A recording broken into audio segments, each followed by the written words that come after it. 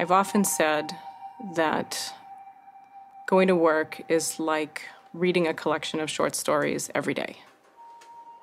And I remember coming up to a patient. And she kept saying, Sure enough, sure enough.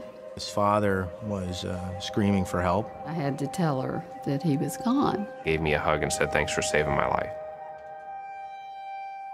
You can't believe the gift that it is to be exposed to so many people's lives in such an intimate way.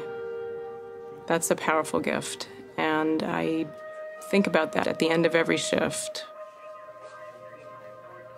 The emergency room really is the people's room. It's the place where they can come 24 7, 365 days of the year.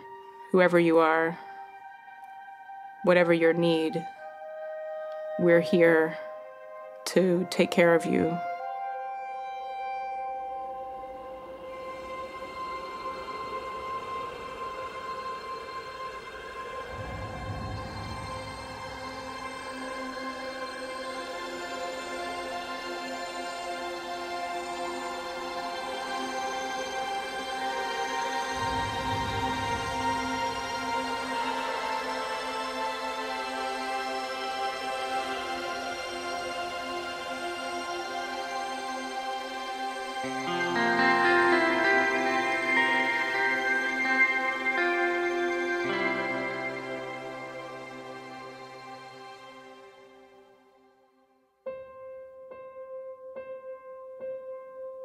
I'll tell you a story. My dad was a GP surgeon whose office was in his house. So medicine was a big part of our lives. I treated my first emergency when I was about eight years old. My dad was a very hardworking physician and he was out making house calls. And I was home alone. And uh, the doorbell rang and there was the the neighborhood grocer with a broken wrist. He had been cranking his truck and it backed on him, which will tell you something about my age when the ignitions were still manual. And even an eight year old could look at that wrist and know it was broken. And I remember thinking, do I put hot or do I put cold on that? And I decided cold because I thought it would make it feel better. And I went up to the kitchen and got a dish towel, wrapped his wrist, put it in an ice tray and covered it with ice. Gave him two aspirin said, Dad will be home in an hour. But I don't think I did so badly in retrospect. And he ended up uh, sending me a case of bananas and not paying my father's fee, which really ticked him off.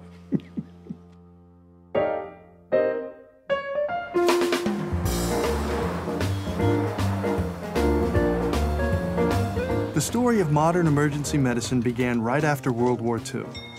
America was emerging from years of depression and conflict, and we were a nation on the move. It wasn't like the early 1900s where people were born, lived, and died in the same community. Now people were more mobile, changing their address every few years.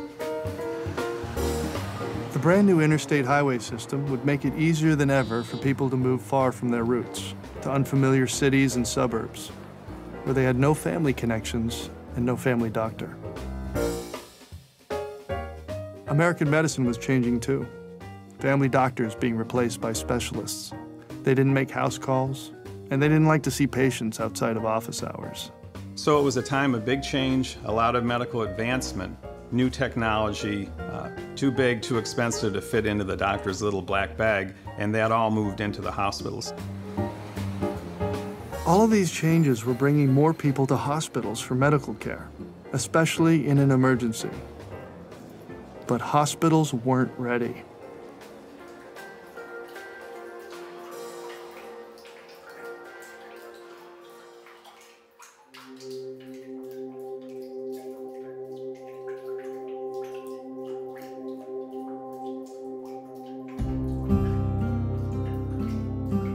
What we today know as emergency medicine and emergency care uh, was essentially a room in the basement of the hospital uh, where some suturing was done, maybe an asthmatic was treated.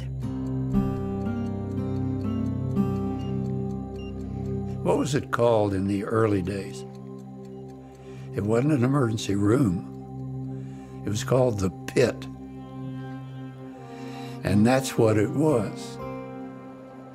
There were exposed pipes and dripping water, and it went into an area that had four little treatment spaces, basically a stretcher, uh, and then there was a GYN room. It sort of had a loading dock look to it, and the, over that was it was it said emergency, and someone had tacked on a sign, uh, "If it's an emergency, ring the bell." There was a kid who fell out of a tree, picked up by the cops and brought by the squad car to the closest hospital. They buzzed on the bell ringer. Nurse opened the, uh, answered the door. They explained what was going on. She said, You'll have to take him to the qualified hospital. We can't handle head injuries here. So they did. The kid later died. They were very small. They were crowded places. Some actually thought we should decrease the size of the emergency department, increase the waiting time so people wouldn't come there. Emergency rooms had bigger problems than leaky pipes and long waiting times. The staffing was done by the interns. So the least experienced physicians took care of most dangerous situations. Mr. Wood? Mr. Wood? Their opinion was the ER is the best place to learn. This is where we've got to put the brand new doctors. They don't need supervision. They don't really need a specialist showing them what to do. I, of course, was one of the interns who uh, was doing that in my internship and realized how ill prepared I was. As a, a young emergency physician, I was scared because I knew how little I knew and how incompetent I was. My dad was 64 when he died of pulmonary edema. His cardiologist wouldn't come to see him when he went to the emergency department where he was cared for by an intern. The same year I was interning. I wouldn't have known how to take care of him. I began to think to myself, there's got to be a better way. This just doesn't make too much sense.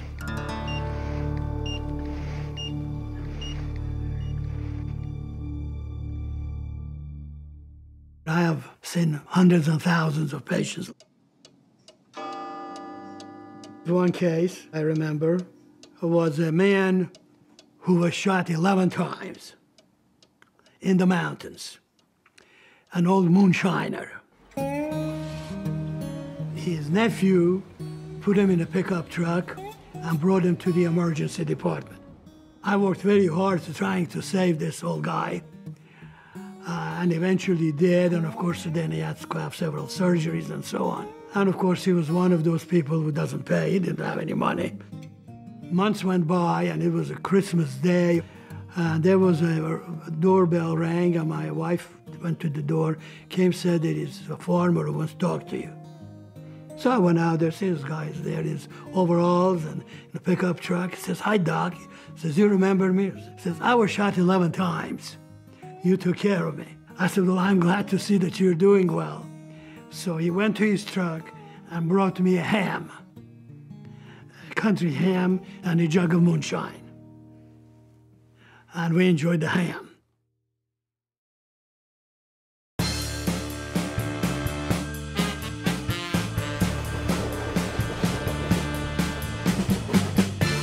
The 1960s would prove to be a turning point in emergency medicine. As the new decade dawned, America went through a change in leadership and a change in attitude. The problems are not all solved, and the battles are not all won. And we stand today on the edge of a new frontier. It was a time of rising expectations and a new determination to tackle the country's toughest issues. The crisis in emergency care would call for creative solutions. In some places, like Pontiac, Michigan, they tried staffing the emergency room with part-time help from other departments. Well, if you were on the staff of Pontiac Hospital, you might pull three shifts a month doing the ER and the rest of the time running your office practice. Well, this new model came to be known as the Pontiac Plan. Physicians who worked part time in ERs. They were attending physicians, so it was a step up from the interns and residents. But the downside was that they were from various specialties with various levels of training. So, as a patient, you didn't know what kind of doctor you were going to get. It was a little bit of a crapshoot. They didn't have a neurosurgeon on call. They didn't have an orthopedic surgeon on call. You had one person, and they had to rotate this. Can you imagine coming in with a broken leg or an appendicitis and talking to a dermatologist? Oh, I'm so glad you're here, doctor. And the guy says, I'm no doctor, I'm the dermatologist. Poor dermatologists, they get beat up on whenever we tell these stories. And uh, that was crazy. That was just bad. That was the Pontiac problem, Brilliant. And it was also the Pontiac problem. that is an interesting slip of the tongue.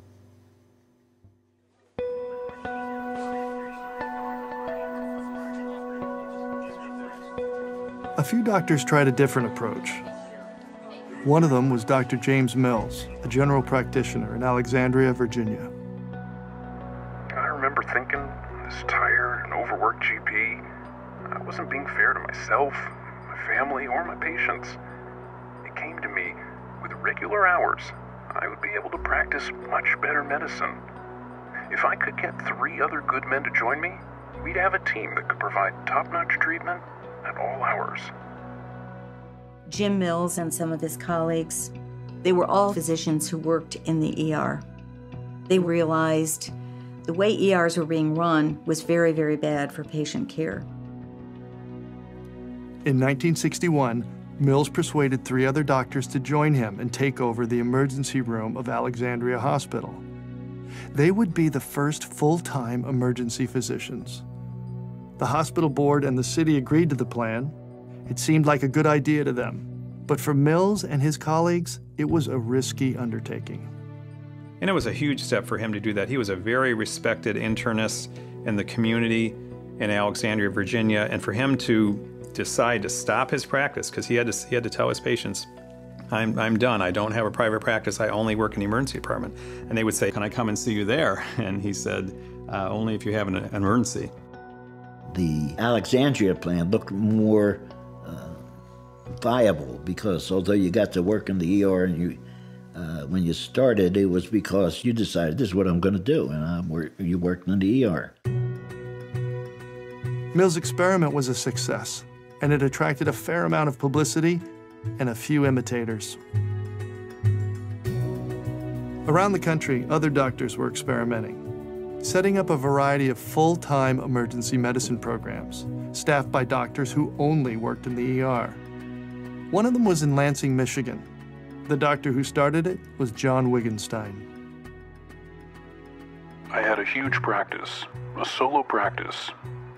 So, whenever they had an emergency, that one of my patients would get in an automobile accident, I was right there. I love that part. They would cancel all my appointments, and I would go suture and take care of this diabetic out of control and whatever.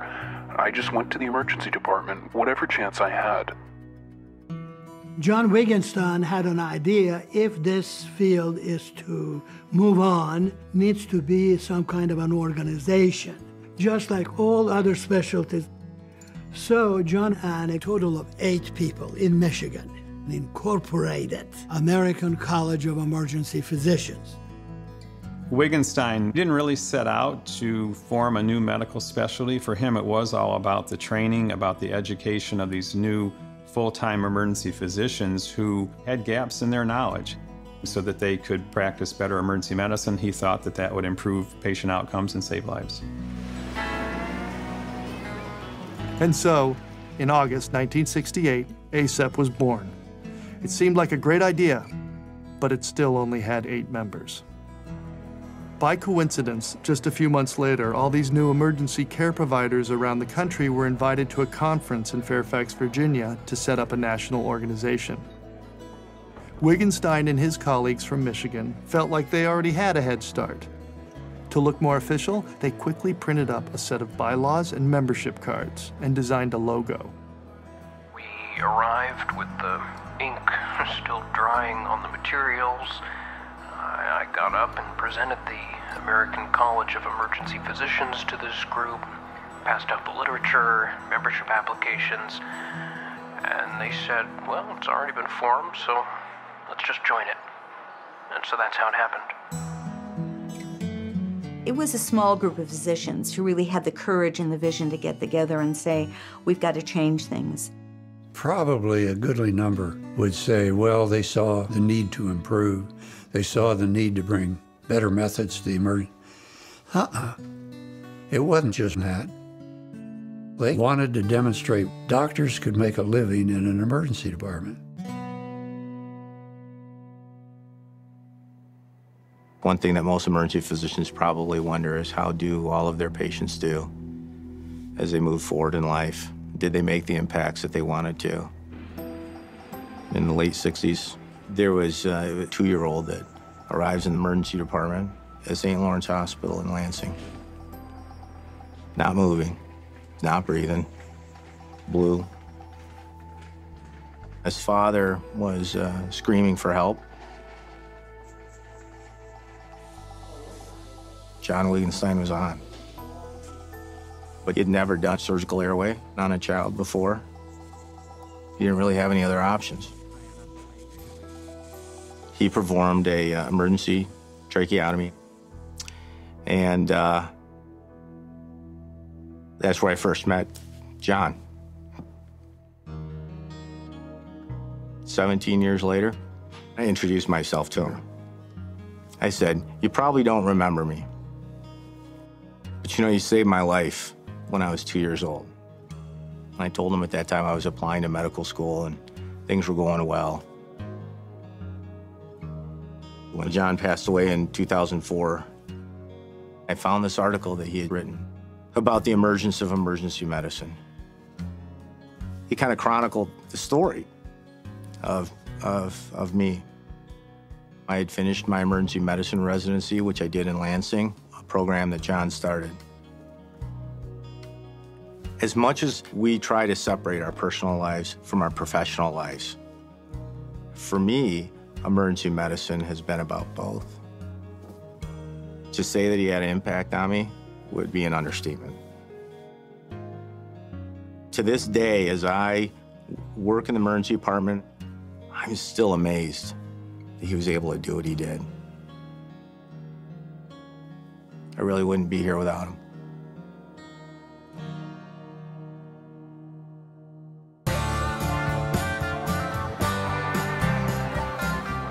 By the late 60s, America was in the throes of a cultural revolution.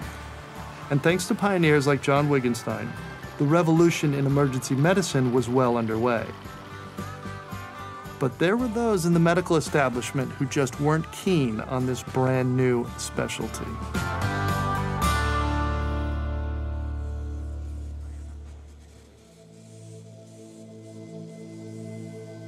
People honestly believed we weren't especially and should not be recognized. That we didn't perform those things that made us especially. No research, no real education policies. They really didn't think we belonged. One of their toughest critics was a surgeon named Ken Mattox. What was the unique body of knowledge that belongs only to the emergency department that made this a specialty of medicine? Emergency medicine, in truth, are primary care physicians that are triage officers. Medicine, you know, perceived as a conservative force, but this was a force that seemed to be totally out of touch with what the people I saw or felt about needed care from. There were a countable number of times that people said emergency medicine would be developed over their dead bodies. Competition. Turf. It's always money. It's always money. If we got in there, we would get more of the cut and they would get less of the cut. It was obvious that there'd have to be a battle, and uh, we'd have to get good people who wanted to fight in a battle. In spite of all the resistance from inside the House of Medicine, emergency medicine grew quickly. It seemed to attract a certain kind of young doctor. The early people were, were clearly mavericks, uh, and some of them were frankly a little crazy. They weren't just maverick, they were LSD doing communist something. They were just very different. I mean, to go and say, I'm going to create a specialty where one doesn't exist, you had to have some cojones to do that. I mean, that was, that was some battles. They said, well, you've thrown away your career. That's it. You'll never amount to anything. They said I should be seen by the shrink, because uh, no one with real talent and intelligence would spend their life in the emergency department. Some of the people, uh, quite frankly, uh, had personalities that were abrasive. That wasn't good. I guess they'd probably say the same thing about me. you would hear these amazing stories of these wild and woolly early days of emergency medicine where surgery residents and emergency medicine residents would be in confrontations all the time, uh, even attending physicians, and sometimes it'd spill out into the parking lot into fistfights. I often wonder if I had been a different person, could I have had fewer fights? Certainly, I had a, a, a quick temper and didn't mind fighting for my department and my prerogatives. But I don't think with those kinds of people around that I could have avoided them. I decided I wanted to go to medical school because I thought I could fuse my interest in personal rights and human rights and health, science. I understood what I thought medicine should be, but I, you know, when I walked into Johns Hopkins in 1963, you know, you could go through a, uh, the colored file, you could go through the white doors. You know, when there were very few women, there were no, it was the first black student ever accepted at Johns Hopkins in my class. This poor guy was being, essentially the first black guy was there to be uh, humiliated to my extent. It was tough. So uh, they lost interest in me. I was active in uh, civil rights demonstrations, and they said I had to shape up, fix my tie, you know, do stuff like that. And so ultimately, I didn't make it, and I, they said I wasn't qualified to stay. So I went to what was then the University of Brussels in Belgium. There was a socialized healthcare system. Everybody had access to care. It was very exciting. So race, segregation, uh, access to care for people, all those things were really my first experiences with healthcare. I, I think that's how my foundation was created, and that's sort of the way I've done emergency medicine for most of my career.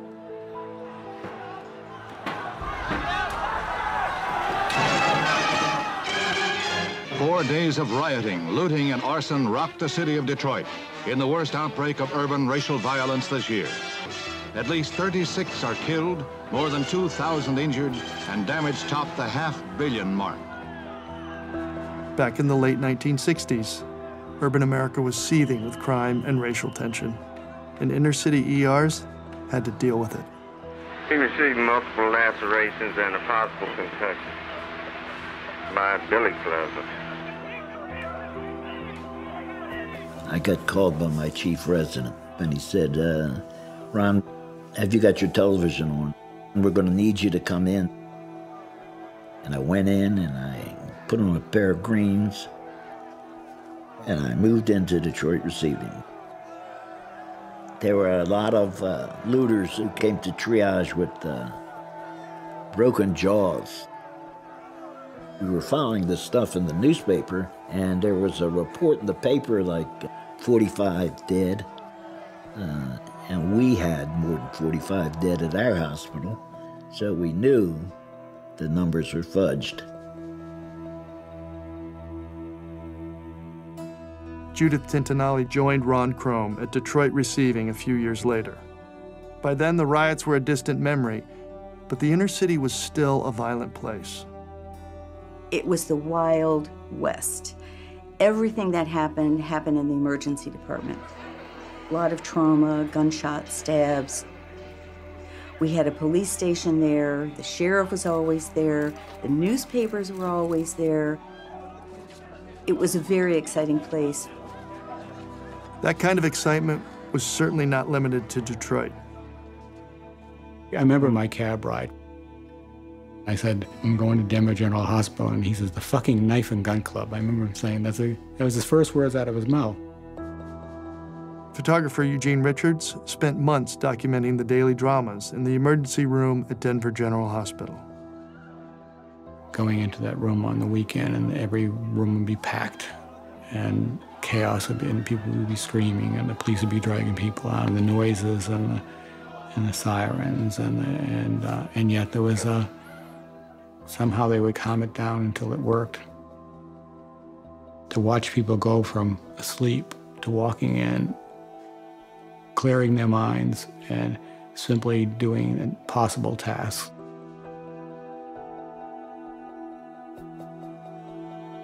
And it was breathtaking. People don't understand it.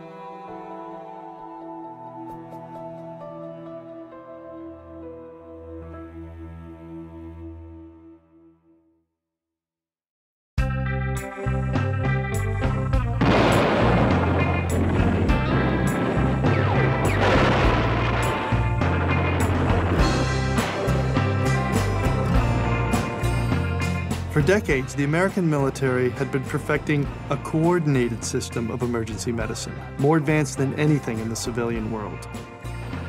On the battlefields of Vietnam, medics were embedded with combat units so they could treat wounded soldiers as soon as they fell. Dynamite 5-2, I request dust off.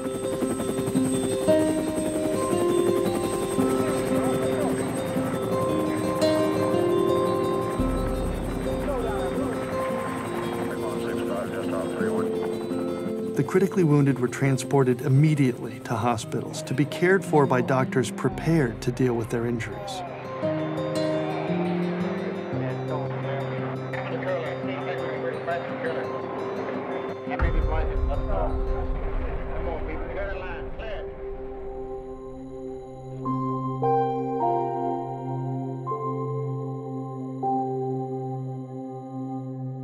Back home, emergency medicine was just getting started, and coordinated pre hospital care didn't exist. There was no organized EMS. It, it, was terrible. You had a better chance of surviving if you were shot in a battlefield in Vietnam than if you were shot in the streets of Detroit. Most ambulance services were stretch Cadillacs. And the two guys in the ambulance wore white uniforms. It could be somebody who had been a store clerk the week before.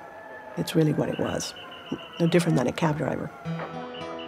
The ambulance transport vehicle was a, a funeral hearse, and if there was a bad accident on a highway and multiple ambulances showed up, they weren't fighting over the living patients, they were fighting over the people who'd been killed because those brought revenue to the funeral homes.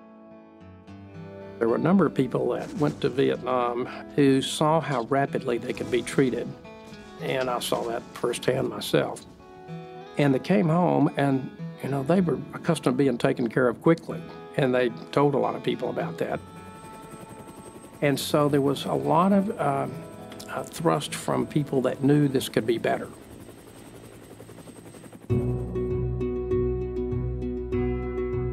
Veterans and emergency doctors realized that you didn't have to be a physician to make a difference. You just had to know what to do, and you had to do it fast.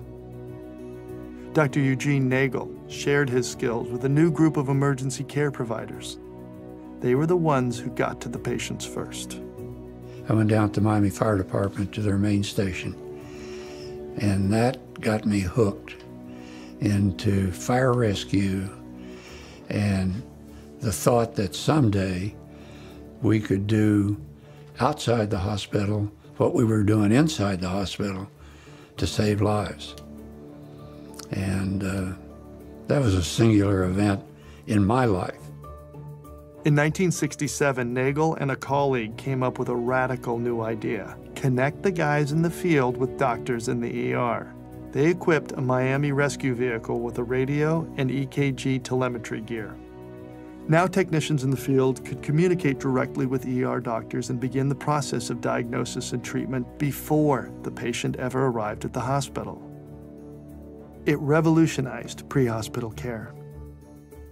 But what should they call these newly trained pre hospital emergency personnel? Medic, which was used in World War II, sounded too much like doctor. And the paratroops had paramedics. My fireman guys liked the term, so that's what we called them in Miami, and the name stuck. We had a lot of opposition. The bureaucracy was dead set against having firemen, untrained barbarians, giving drugs and, and doing medical procedures. But the press and the media, they were like a tidal wave. The newspapers ate us up. There would be pictures or articles practically every week, and we didn't mind as long as the public knew that we were there and that we were there for one reason to take care of them. The lessons of the battlefield were starting to make it to the home front, at least in a few places. But getting the whole country on board wasn't an easy process. In 1973, when Congress took up a national EMS bill for the third time, Dr. David Boyd was called to testify. He was the chief health officer for Illinois, which had a statewide EMS program. Well, they were all politicians from the South and East arguing for subsidization for their untrained ambulances, many of which were mortician driven. I said, we don't need another transportation program. What we need is a system in this country, a regionalized system. We've done this in Illinois. Here's the program, here's our data, and I'll leave this with you. And I start to walk away. The staffer, he said, Dr. Boyd, could you stay over for a couple days and help us with this legislation? So I stayed over and actually wrote the Emergency Medical Services Systems Act. So the EMS Act of 1973 was the huge federal boost that was needed to help establish both regional and municipal EMS systems across the country. It provided a lot of money. It was big money going into both equipment and ambulances and communications, uh, but, but probably more importantly, the training of personnel who were going to deliver this pre-hospital care. Emergency medicine in the ER in the field was catching on fast. It gained hero status with a primetime TV series called, appropriately enough, Emergency. Rampart Rescue 51. Rampart Rescue 51. Emergency featured courageous rescues by a team of paramedics. Go ahead, 51. Who worked closely with doctors and nurses back in the ER. Vehicle over the cliff, three patients. One male, two female. Compound fractures both legs, acute pain. First female, approximately 40. Fractured radius and ulna, right arm. Do what you can. Immobilize those fractures.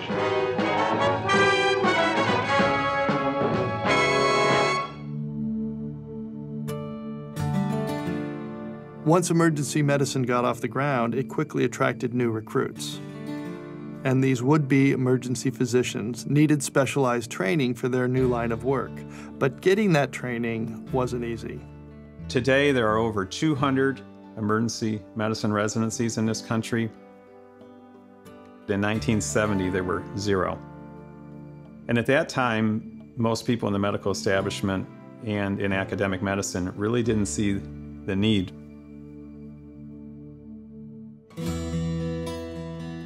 in this little tiny hospital in Kentucky.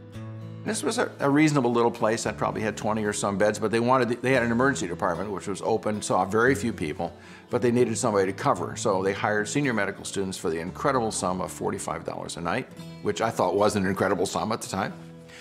And uh, so I, I did that, and but the first shift was something you'll, I'll never forget as I, I, took my little bag, which at the time used to get a bag from the Lilly Company as a senior medical student, and I, I, got out and walked, and this, this nurse comes out and said, I'm glad you're here. We have a cardiac arrest upstairs. And uh, my response was probably pretty typical for a medical student. Oh my God, I have no idea what to do. So I went to the scene, watched the nurses do things to the patient, agreed that the patient was dead, and decided either I'm going to learn how to do this right or I'm quitting. So I decided to learn how to do it right. As he was completing his senior year of med school at the University of Cincinnati, Bruce Janiak took his new passion for emergency medicine to a new level in a way that no one had ever done before.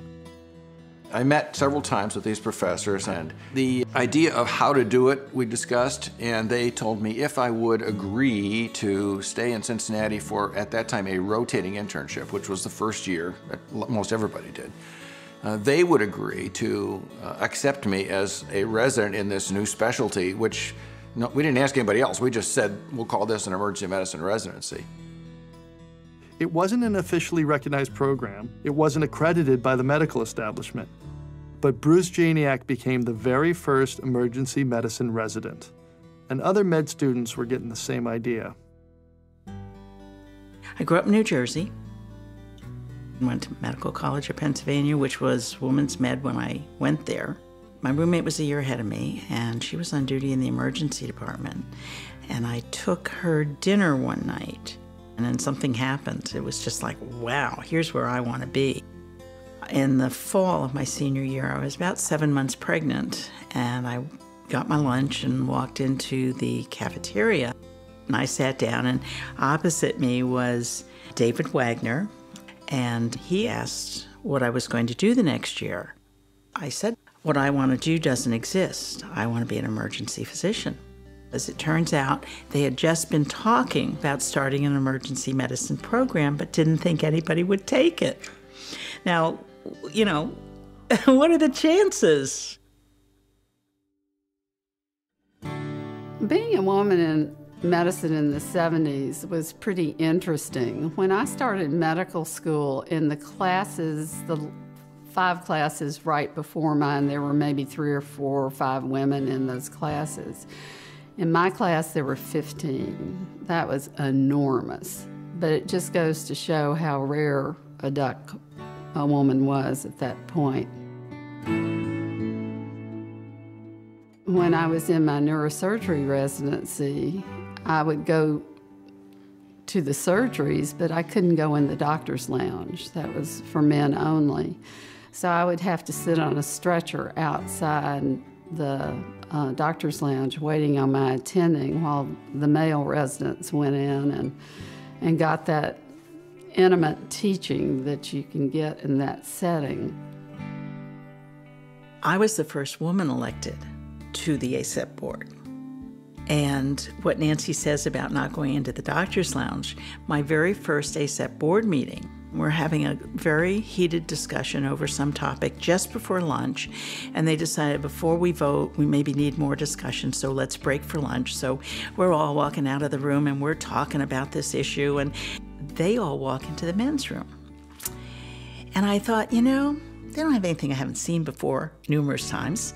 So I'll just go in and we can continue the discussion. And then I thought, no, if I walk in there, the discussion's obviously going to change. So I went to the ladies' room, and when we got back to the board room after uh, lunch, I raised my hand and I said, I have a motion to make. And that is that any discussion of substantial issues cease when we walk out of the boardroom. Otherwise, I'd be happy to join them in the men's room.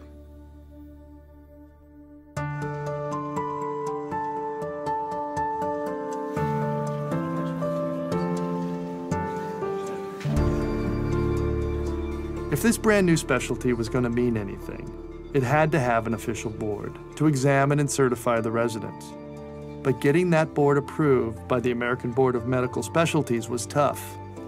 In fact, the first time they took up the question in 1977, the vote was 100 to 5 against. With no certifying board, there really was no emergency medicine specialty. The first vote was terrible. I mean, I can't tell you how devastating we all found that. Well, I mean, the air went out of the balloon and the rose tints came off the glasses. I remember after jumping through hoops for almost five years, and someone said, Well, things are coming along well. Another four or five years, you'll probably get a positive vote. And I blew my top, as I was wont to do, and said, Fuck it, we'll just give our own exam and the hell with you. And those who said, you know, screw them, we don't need that, we don't need them, we can do our own thing. And I was saying, hey, you know, let's see if we can't figure a way to make this work. Creating a new room in the House of Medicine would be an uphill battle. ER doctors had to make the case for their new specialty and prove that it had a basis in science. Their critics weren't pulling any punches. There were so many in the medical establishment who weren't quite convinced about the legitimacy of this new field, and they had no problem voicing their concerns to early leaders like uh, Ron Krome and Judy Tintinalli. I've never told this story. I banged on the table and I said, Judy, you and Ron, of all people, have submitted nothing in the past two to three years. I think you're fake. I don't know why you even started this emergency medicine. The room was silent for 60 seconds, and Ron Krome was the first to speak. And he said, Ken's called our hand. He said, Gentlemen, ladies, uh, we better produce. And I stood up, walked around the table, shook his hand. In terms of getting recognition, that was a, an evolution that had to occur for the field to develop. I think the way we fought the battle earned us an awful lot of uh, respect from the other specialties. We do have a, a scientific basis for what we do that's way deeper than even we thought it was. It was a very scary time, but it worked because people were willing to look at compromise, and that included the internists and the pediatricians.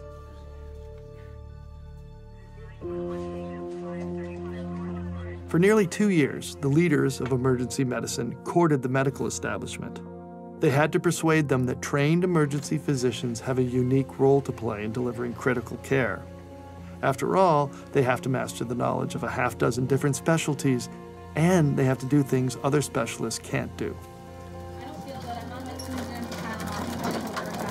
It may be believed that because you're a doctor, because you graduate from medical school and you have an MD or DO degree, that you know everything. But no one has received the kind of training at all that enables them to deal with emergencies. That is not the focus of medical school training. It is not to recognize and treat time-sensitive illness or acute problems. Strokes, heart attacks, serious infections, anaphylaxis where your throat closes up. They're just, just to name a few. You really need special training to recognize and treat emergencies. The frequency and the acuity of the things you have to deal with on a regular basis and the uncertainty with which you have to be comfortable. The inordinate multitasking, the constant interruptions, the ability to interface with so many different individuals in such a short time frame and, and with great composure and ease, I think was not an intuitive concept to, to a lot of physicians. They succeeded in proving their case. In 1979, when the question of a specialty board was reconsidered, the outcome was completely different. The vote was overwhelmingly the opposite in favor of establishing emergency medicine as a certifying board in the American Board of Medical Specialties. Besides the actual founding of ACEP, the founding of the American Board of Emergency Medicine and its acceptance by the other specialties was the critical event, uh, a board which the other boards would recognize as legitimate. Because then you had a seat at the table.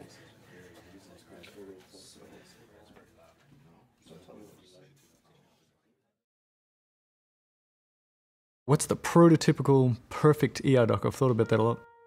Somebody who enjoys a lot of stress and never knowing what's going to happen the next second. You cannot uh, anticipate what's going to walk through the door, be dragged through the door, roll through the door, etc. And you have to be prepared for everything. They got to be smart. Um, they have to enjoy adrenaline. Adrenaline junkies. Do you occasionally hit people? Yeah. Do they sometimes hit you? Yes, they do. Uh, do you have to strap people down? Yep. We act in an environment that is fast paced and information poor. How much time do you think we spend with a patient talking to them in the ER? Two to three minutes max. If we were kids today, we'd all be diagnosed with ADHD. Be able to leave one intense situation, walk over to the next bed, and not carry that with you, to be able to switch it off in the 10 steps it takes you to get to the next bed because that person doesn't need the baggage of the other thing that you just experienced. But then they have to have this other thing that is about able to make people feel comfortable really fast. The humanity, the ability to be in a specialty where you get to interact with so many different patients. We love the opportunity to be able to save a life. That's the most fulfilling um, thing that we do as doctors, and that's something we have the privilege of doing more regularly in emergency medicine. And people with boundless energy. Uh, in their spare time, they might be mountain climbers, triathletes. We probably also drink too much and party too hard and do lots of bad things. And somebody who can cry. If you can't cry, if I stop crying with, with relatives of the deceased, I'm going to quit. Maybe not every day you get a chance to um, save a life. Sorry. It's actually my alarm telling me going on shifts in a half hour.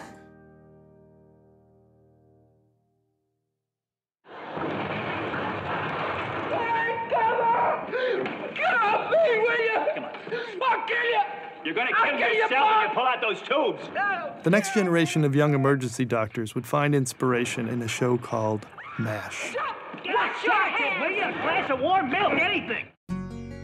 The series captured the attention of countless aspiring doctors who identified with its characters' disregard for authority and compassion for their patients. Well, I really felt a connection to MASH when I first saw it.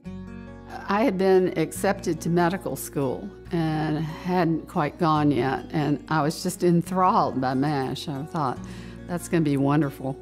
Do you see anything good at all coming out of this war? Yeah, me, alive. I wanted to be, you know, Hawkeye.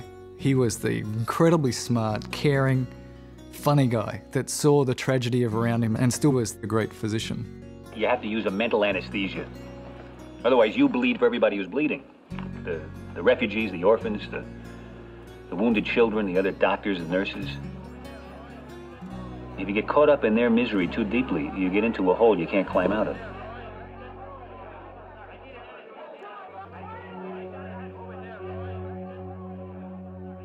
There's been a lot of bad days. I'm going to cry because every time I think about it, I, it sort of breaks my heart. There was a baby that came in, and the mother said, um, it looked to, for us like the mother had abused this child. This was a three month old child and was dying, was bleeding to death internally. And we were convinced, I was convinced, that mum had abused the child. And I didn't treat her very well. I wasn't actively mm, bad to her, but I didn't treat her the way I would anybody else, holding their hand, saying, We're gonna do as much as we can, we're gonna look after this baby. Um, and then it turned out, of course, uh, that uh, the baby went to the operating room and the baby had a very, very rare aneurysm that had exploded. That was my failing. I should have. I should have uh, been nicer to her. I should have done the right thing. And that's the sort of the emotion you have as an ER doc. This talk to ER docs is all those, the tragedy of what we do, and sometimes you're just like, fuck. I could have done that better, and I should have done it better, and and uh, I'd like to meet that mother and say I'm sorry. I didn't do the, I didn't do the best I could do.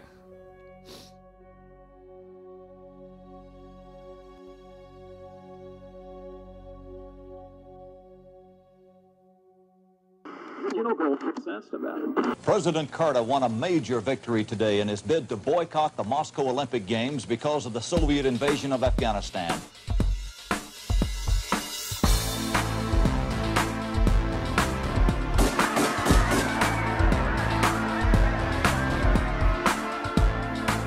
By the early 1980s, emergency medicine had come into its own. It was now a recognized specialty.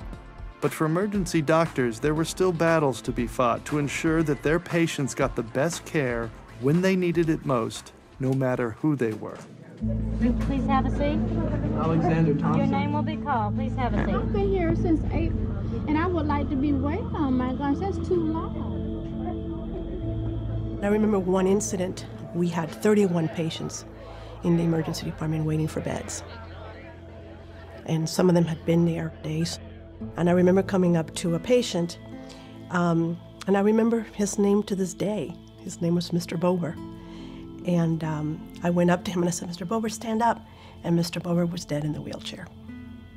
And uh, I, uh, it was just a very, very um, emotional um, day. So I went to a phone and I called the news media because I figured we had tried everything else to try to get them to be admitted. People have died in Jackson's emergency room because there is And within 20 minutes, somebody was there taking footage. And at that 11 o'clock news that night, uh, the breaking story was was this. And the next day, the patients got admitted.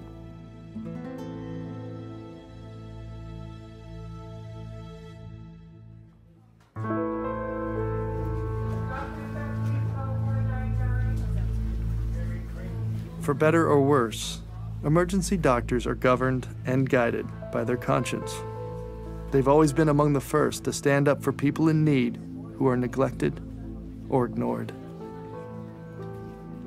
We're like the Emma Lazarus poem under the Statue of Liberty. Send us your poor, you're tired, those people without insurance, and uh, we'll take them in. People who couldn't pay for medical care were once routinely turned away from private hospitals and delivered to public hospital ERs, like the one run by Arthur Kellermann in Memphis, Tennessee. It was a morning shift. Two Memphis paramedics are rolling up the hallway with a patient. I knew this young man is critically ill. And I'm going to do my primary survey. I'm checking airway, I'm checking breathing, and I reached to check his radial pulse. And I brushed a bright, mint condition yellow hospital wristband. Now, this is important because my hospital's wristbands were powder blue. And I flipped it over, and it was the name of a very well funded private hospital in Memphis, about six blocks up the street. And I said, What the hell is this? There's no IV, there's no paperwork. And he goes, Oh, didn't we tell you, Doc? He's a transfer, he's indigent.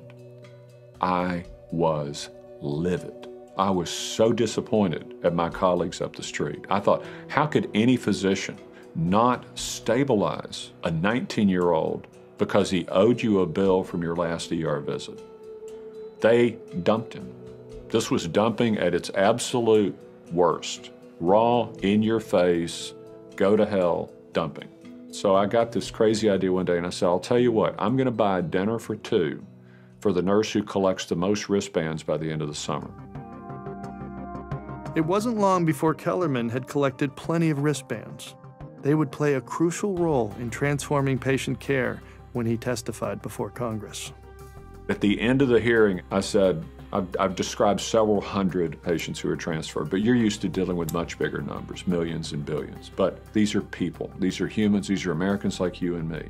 And I reached under the hearing table in Congress, pulled up the bag of wristbands, and I dumped it on the table.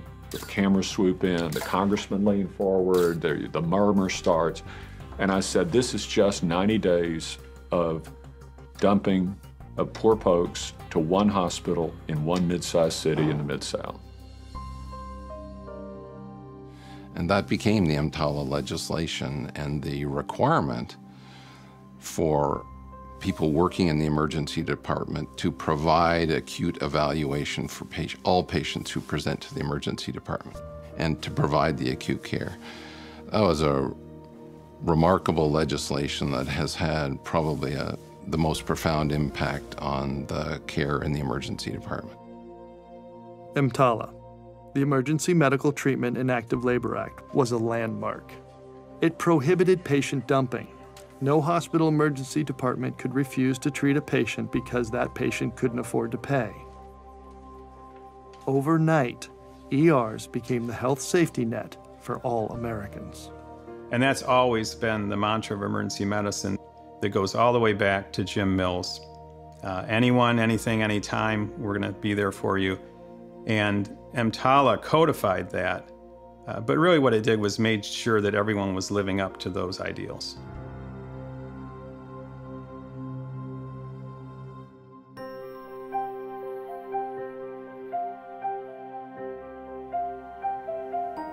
That I was probably a second year resident, and Dr. Goldfrank went around to each of us who was working and said, I have a VIP patient coming, and I want you to take care of that patient. And I was thinking, oh, it's probably someone from the UN or, you know, maybe it's somebody from the Secret Service. Who knows? And the patient arrives. From yards away, you could smell a very strong smell of filth, feces, urine. The VIP turned out to be a woman paralyzed from the waist down, homeless, living in the underground tunnels of New York City, in septic shock, delirious, and wrapped in layers and layers of clothing. And I looked at her face, and she had a beautiful, striking face um, that was unforgettable. We realized that there was a baby, um, and that the baby was probably delivered preterm, was wrapped in a sweatshirt, which she was holding tight, and the baby had started to decompose. And the umbilical cord was still connected to the baby, and the placenta was still inside the patient. It's not clear if she understood that the baby was alive or dead. None of us had ever seen a patient in such a vulnerable state. And we just took on the task of cleaning her like it was the most important thing in the world. The number one priority for half the team was just cleaning a patient who needed to be restored to a state of dignity. But that was our VIP.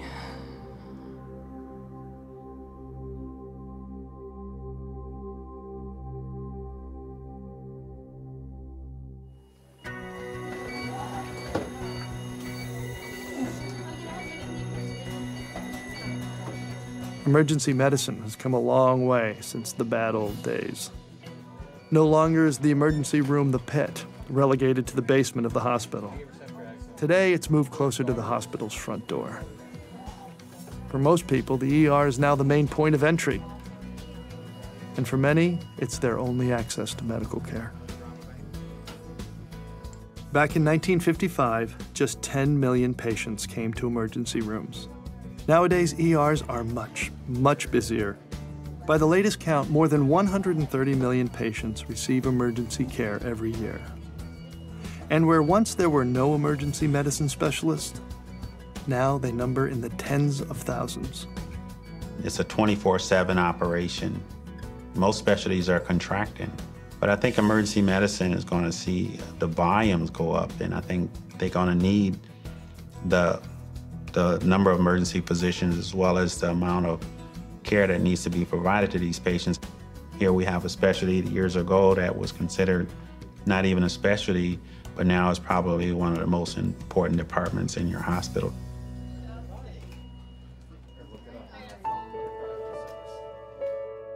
I think emergency medicine required somebody with that ego strength and that maverick nature and that intellect to get this thing going.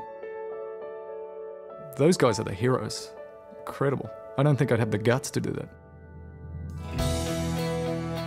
Now you're seeing the next generation of docs are becoming the CEOs of the hospitals, the medical directors of hospitals now, which would have been unheard of even 10 or 15 years ago. So we're becoming part of the establishment, but I hope we don't lose that maverick nature, or we are going to lose something of our soul, I think.